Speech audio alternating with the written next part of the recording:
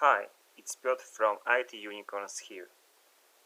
Today we are going to learn about in-database tools in Alteryx.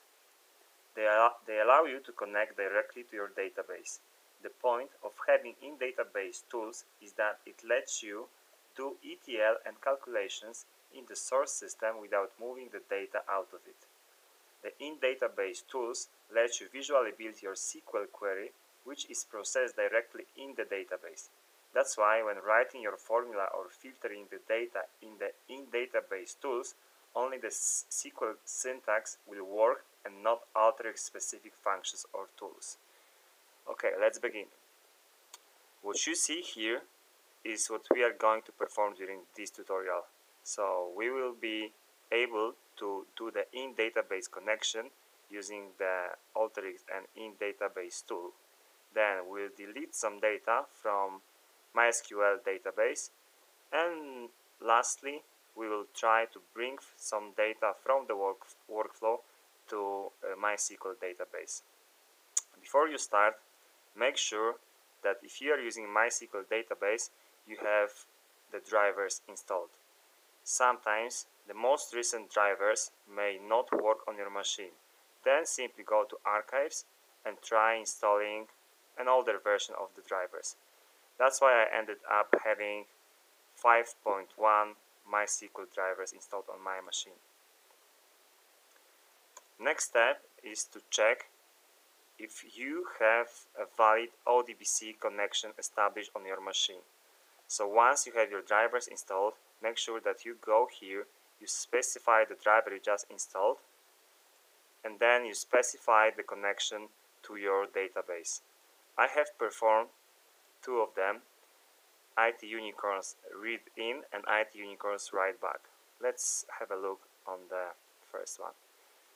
I'm using a free SQL database.com which I recommend for you to use uh, in, to be able to perform some of these exercises. When you specify your OD, ODBC connection, you need to put your uh, server address, the port, and then the user credentials. Let's begin.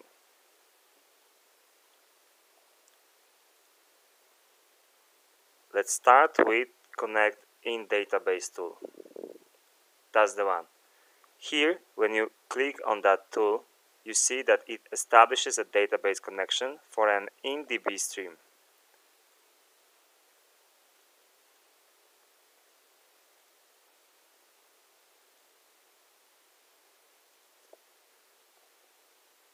So in the options you need to specify the type of your database. I'm using MySQL, that's why the data source will be MySQL. Then the connection type in my case is user. Despite of having the existing connection, I will create a new one. Let's put a name here.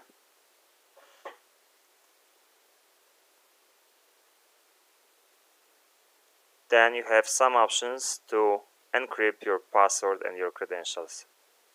I will leave the default ones. For the driver, we select MySQL ODBC. Connection string is the one that we just established in our ODBC driver window.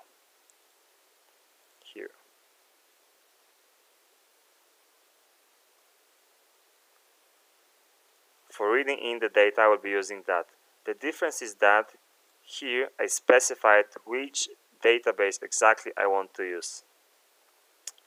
I'm doing it separately because Alteryx was complaining about some features of the in-database tools. That's why I have two separate connections. Once it's specified, I hit OK. For the write, I will specify the other one.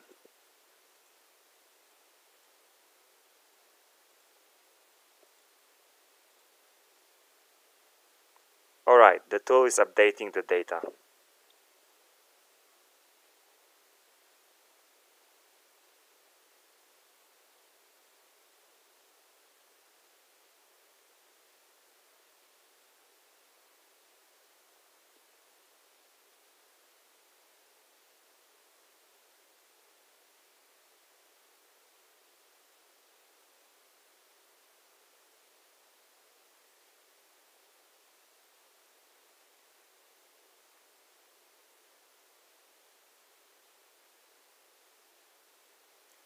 Here we see the Visual Query Builder. If you are not familiar with SQL uh, language, then you can easily build your query by dragging and dropping the fields that you want. Let's specify the ID field, employee first name and employee last name from my test table. My test table is IT underscore unicorns.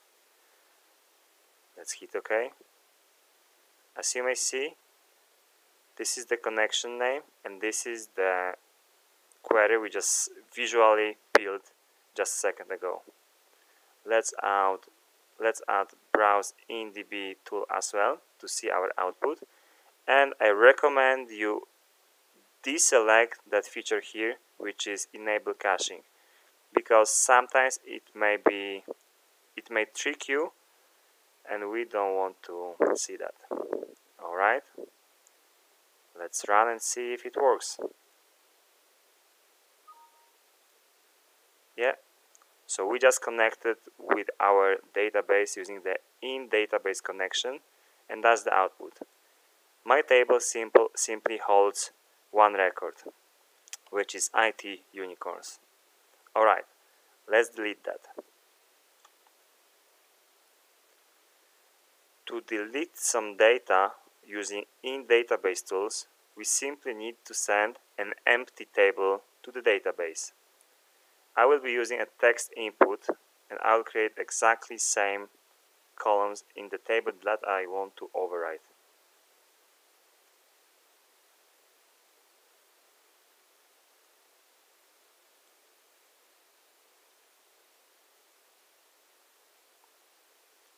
Alright, if you want to be sure that the data types are aligned with the ones on your database site, then you can add a select tool and specify the data types that you have in your database.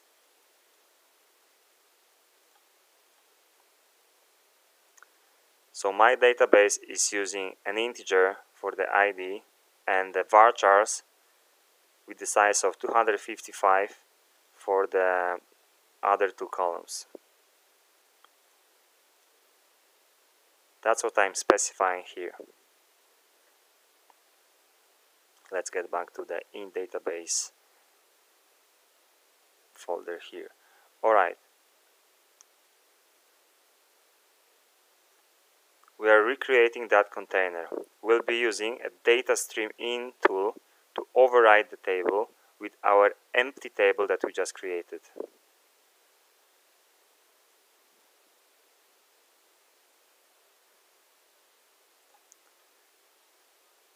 Data Stream into brings data from a standard workflow into an InDB workflow. That means it will take the table from our workflow and it will bring that table to our database.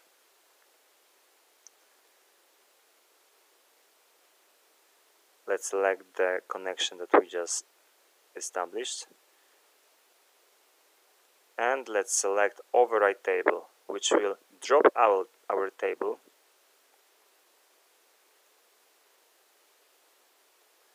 this will drop our table and replace the data with an empty table which we just created here.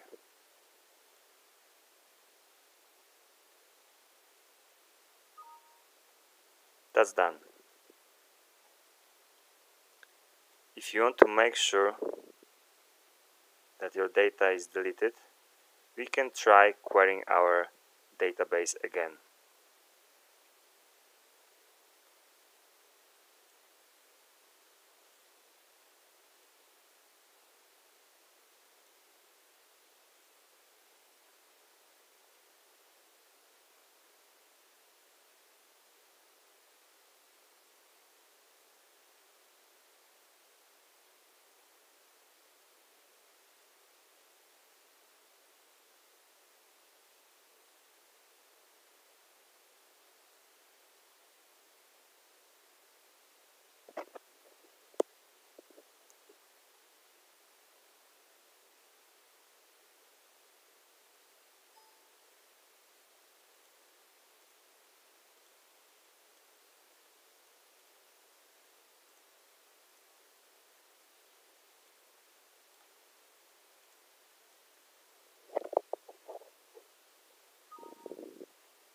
As you may see, the table is empty now.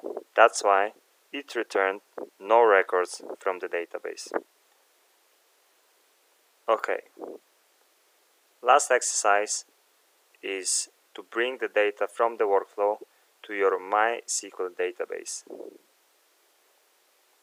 We'll, we'll do it similarly to what we have done when we were deleting data from MySQL database. Let's use a text input. Let's recreate our table.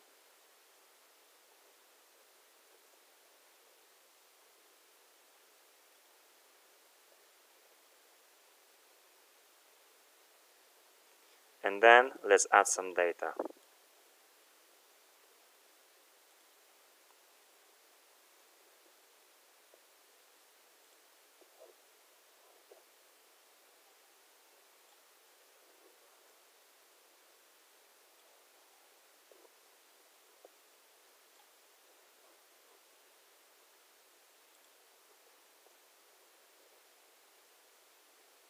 Okay, then let's repeat a step with making sure that our data types are exactly the same as the ones that our database expects.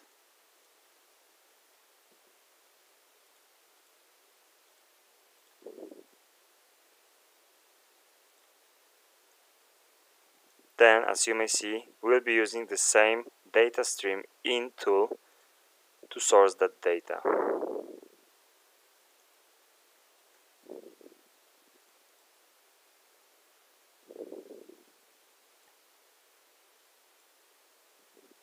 Specify a connection here.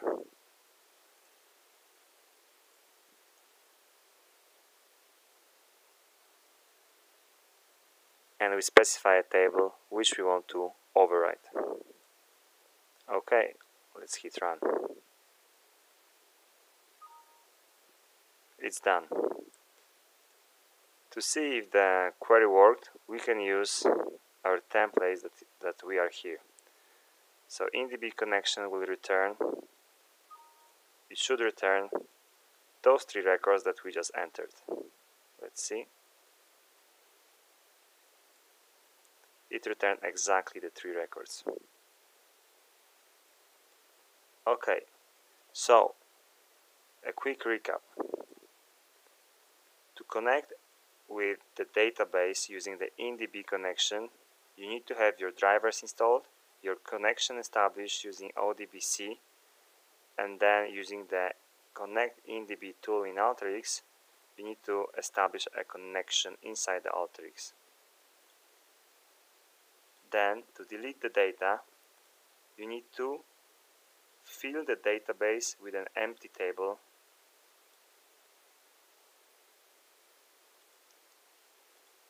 and then if you want to bring some more data or some new data to your database you need to repeat step number two with a table that contains some data inside.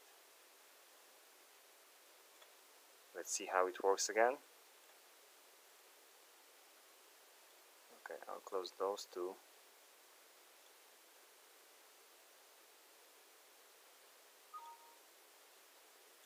That's the data that we currently have in our database. Let's replace that data with an empty data, empty table. It's done. Now our table holds no data. Look. And now let's feed our database with a bigger table, which is this one.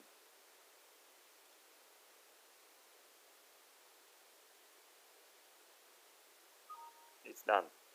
Let's see how our data looks right now.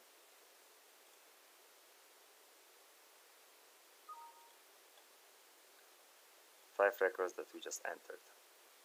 Okay, thank you for watching this tutorial if you have questions, I recommend you going to our website itunicorns.com and contacting with us through our contact form.